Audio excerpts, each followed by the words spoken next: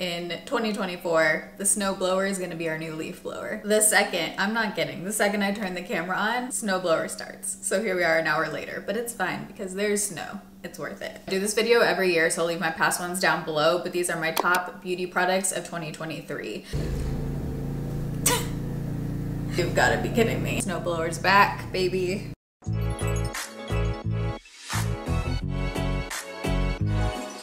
Okay, two hours later, and we are back in business, folks. Yearly favorites, here we are. Everything is gonna be linked down below in the description box. Can't tell if this top is giving New Year's vibes or figure skater. Feeling a little Michelle Kwan. Similarly to last year, because I've been traveling, I don't have all of the products here currently. Anything I'm mentioning is thoroughly tested and has been a favorite throughout the year. I swap out my makeup. Before we get into the beauty favorites, I wanted to thank the sponsor of today's video, which is Thrive Market. They've been a partner for years now and I've purchased the membership myself for years now. If you've never heard of Thrive Market, they're an online membership based market. I turn people onto Thrive Market in real life. I'm selling it to people in real life because I just think it's it's so great. There's just killer prices on everyday items. There's lifestyle, home, food. I primarily use Thrive Market for food, snacks, beverages, like that kind of thing. Personally, I despise going to the grocery store, so if I can get stuff on sale and get it delivered right to my door,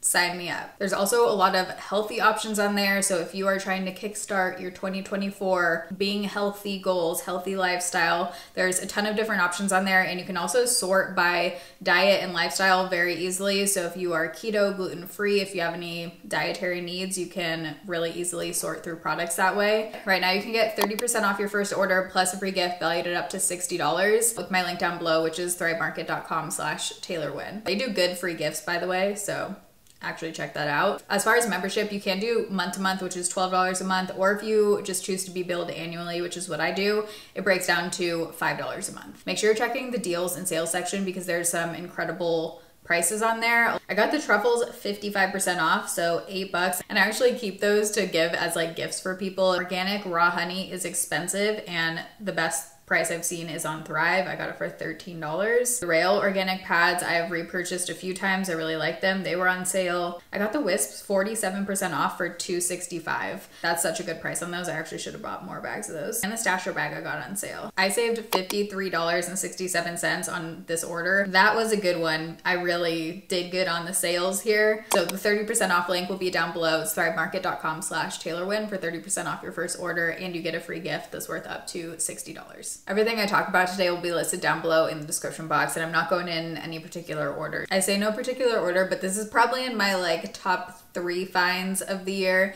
the Ami Colé loose powder. I am not a loose powder person. I try a bunch of them, but most of them just take away the coverage, don't do that much blurring, just make my skin look worse, honestly. This is one of the few powders, along with the Urban Decay powder, which is also a favorite, but that one has not restocked like the majority of the year. So if you can find that one, absolutely love it. I like to put it around my pores and on my chin, and this noticeably blurs out the pores, especially when you use it with like a powder puff. That's my favorite way to apply it. I don't like using any kind of loose powders underneath my eyes, so this one I don't use under my eyes. You could if you like it under your eyes, but really I use this more as like a blurring powder. Last year I feel like was kind of the year of lip products. This year I feel like was my year of cream blushes. I have a lot of cream blushes to mention here. Two that I feel like I reach for most often and that I just love the longevity of these and the look of them. I'm wearing the NYX Sweet Cheeks right now. This one is in the shade Coralicious. I tried a few other shades. Coralicious is by far my favorite.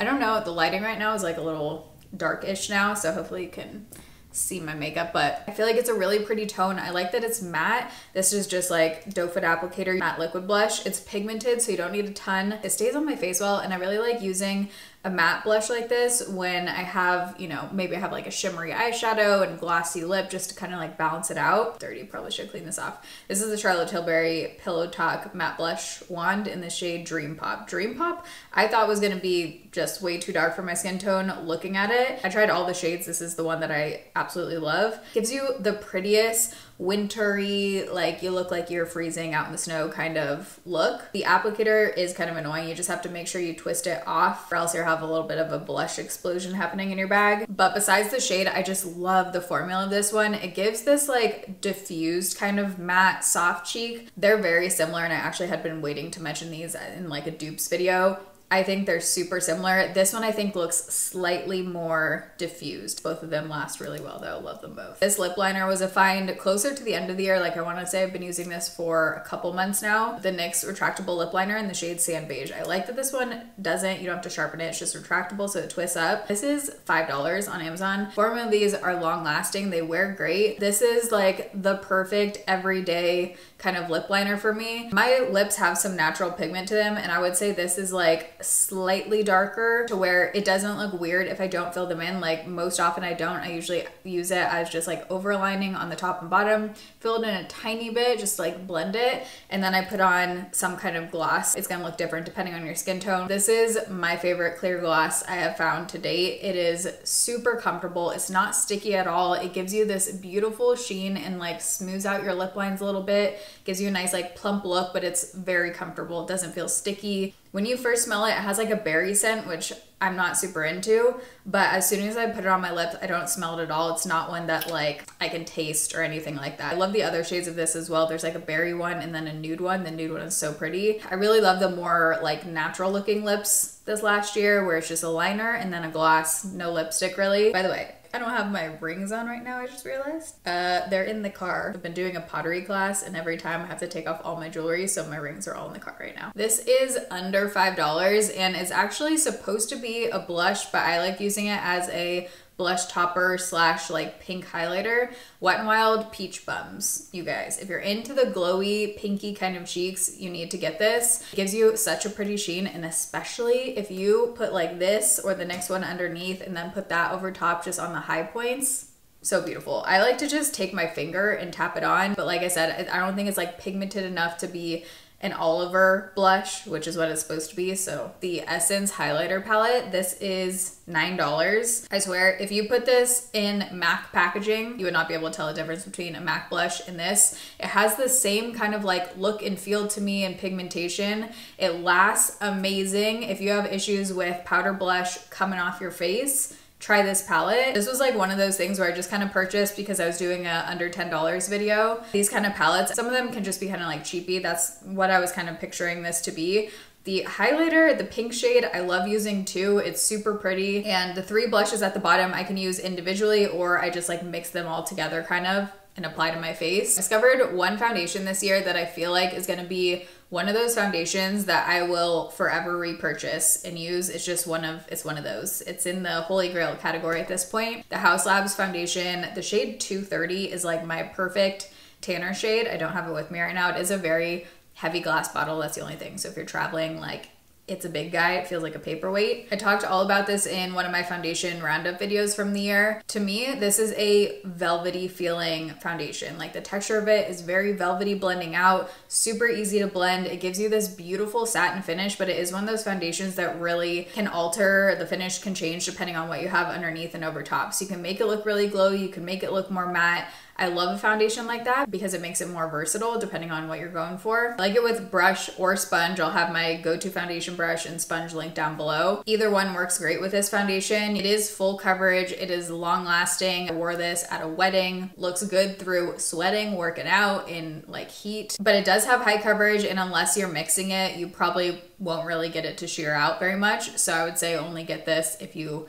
like medium to full coverage. And my skin type has been pretty on the normal side, not super dry, not oily. One foundation that I was deciding if I should include or not because it's technically discontinued, but you can still buy it. You can still buy it on Amazon in a lot of the shades. So I feel like until you can't buy it anymore, I'm gonna mention it because it is that good. The NYX Born to Glow Foundation.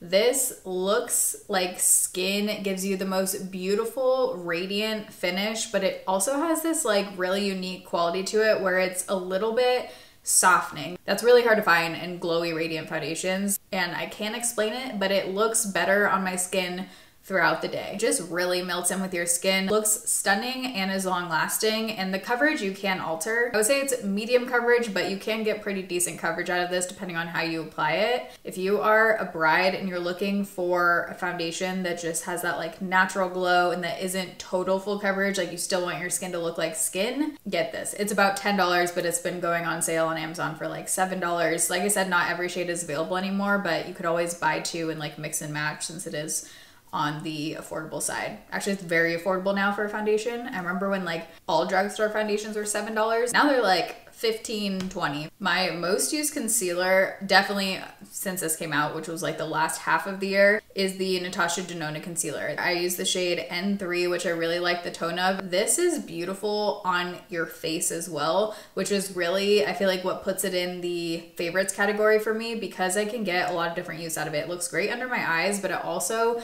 looks really good as spot concealer or sometimes if I have like a lot of redness from my hot pack, I'll put it on on top of my foundation or just on top of my SPF without any foundation and it looks like a foundation. Looks like a full coverage foundation. Doesn't look cakey or anything. Blends out really well with like a foundation brush. I do like to let most of my concealers sit on for about I don't know, anywhere from like 20 to 40 seconds before blending it out. And I definitely like to do that with this. This has a matte finish, but it's like a nice creamy matte, doesn't feel super drying. I still don't know how to freaking say this brand. I should figure this out. I think it's Give.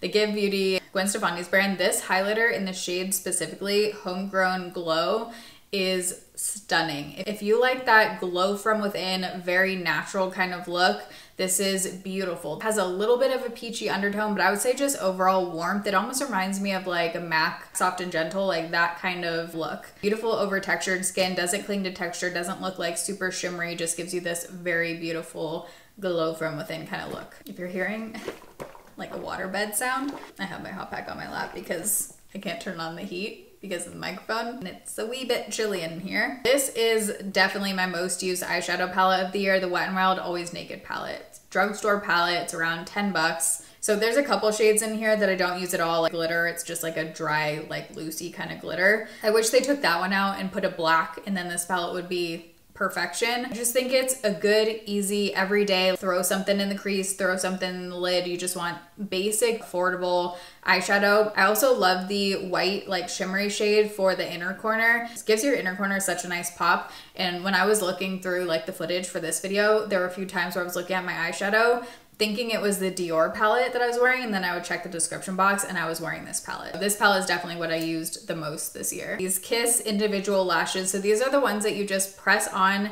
You don't put any glue or anything. You just press on underneath your lash after applying mascara. I like to do it when my mascara is still a little wet because I feel like then when I clamp it together, it really adheres well. These were such a game changer for me because it's so nice for just every day if you want a little bit of lift in your outer corner, want a little bit more shape, but you don't want to look like you're wearing false lashes. Like they look natural enough to where it can pass and also they're very light. These feel so nice and light. There is a learning curve with these. I feel like people either love or hate these and I think the difference is just if you can get them to stick. Like I said, do the mascara thing. When I do that, I have no issues with them sticking and they stay on all day. Never have had one like pop off or fall off. Now I can't live without these. The NARS Laguna Cream Bronzer in the shade 1. The shade, the tone of this is perfect. It has this nice sandy kind of undertone. It's not too orange. It's not too cool tone to where it's like a contour, beautiful, beautiful tone.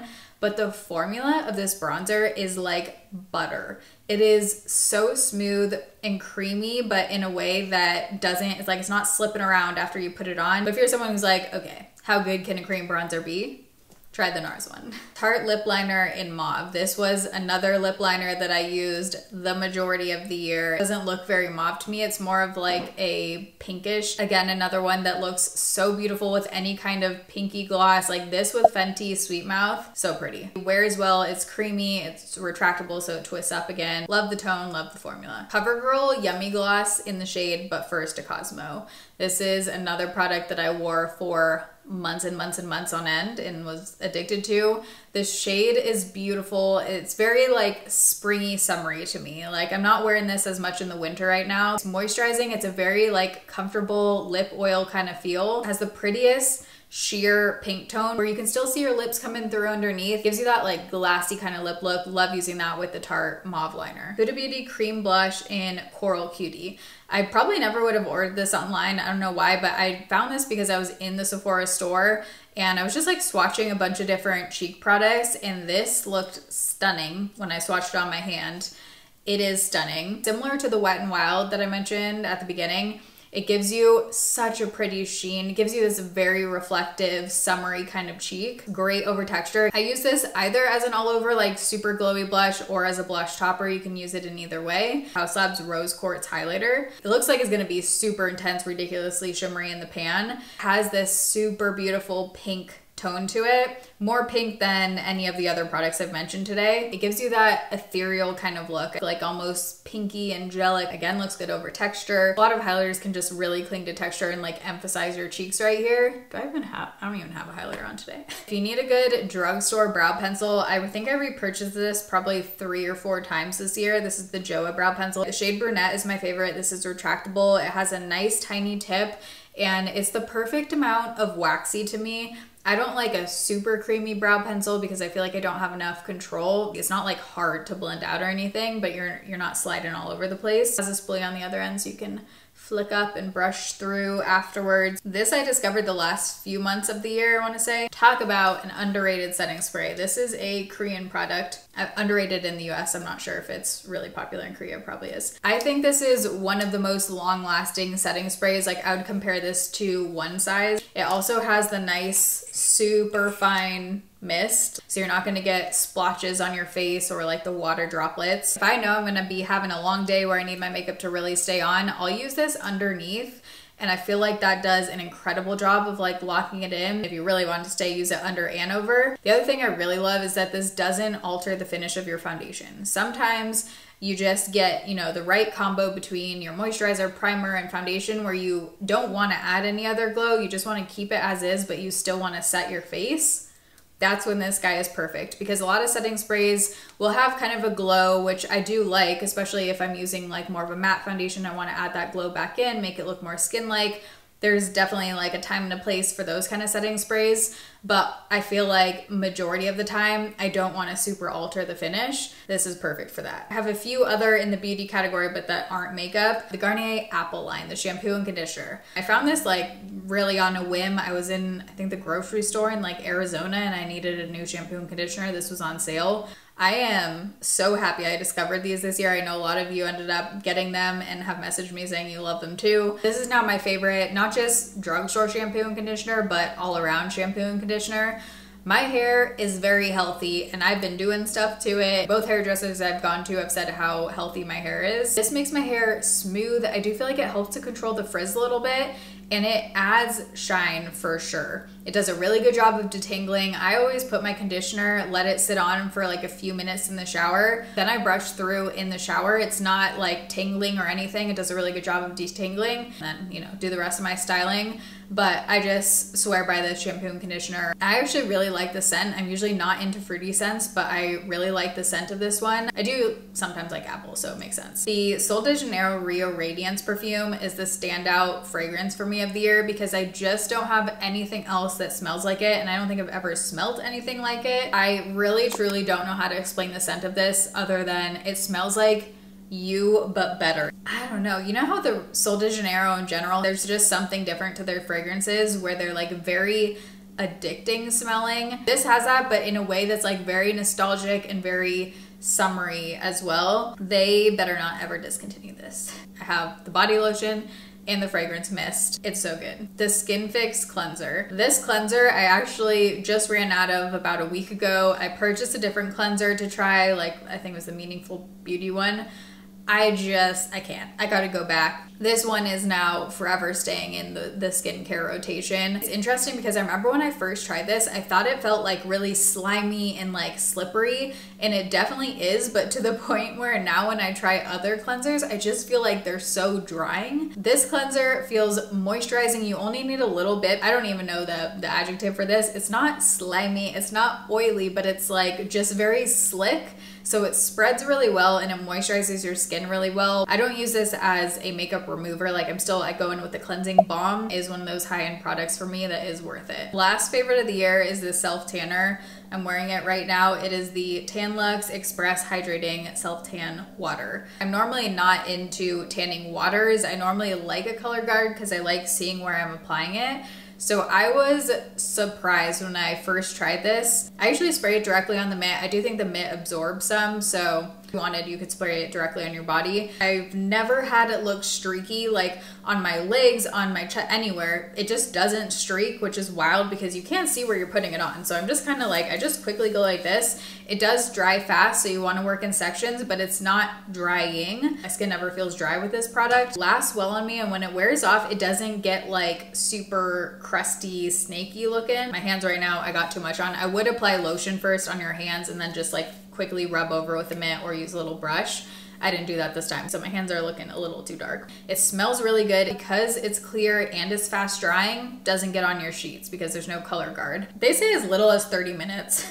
there's no way. I would not um, leave this on for 30 minutes. You're not gonna see anything. I don't think it's really like an express tanner. Personally, I like leaving this on overnight. I just like sleeping in my tanners because it's easy, especially if it's one that dries really quick. You can get dressed literally a couple minutes later. I would say leave it on for like at least four hours. The longer you leave it on, the deeper it is gonna develop. It's just no fuss. It's easy. It dries quick. It smells good. Doesn't streak. Lasts well. It just has like all the things I look for in a tanner. I can do two layers and it still is a nice color. It looks very natural and pretty. Thank you for watching. I dedicate this video to the snow blowers of the world. But again, you can check out Thrive Market if you want 30% off your first order and a free gift up to $60 at the link down below. It's thrivemarket.com slash taylorwynn. But I love you guys. Thanks for watching. See you in my next video.